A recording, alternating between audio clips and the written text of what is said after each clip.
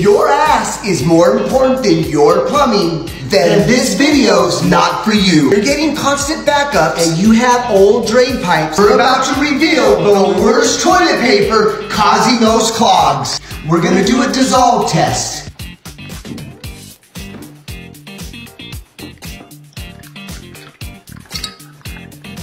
So it's been about a minute.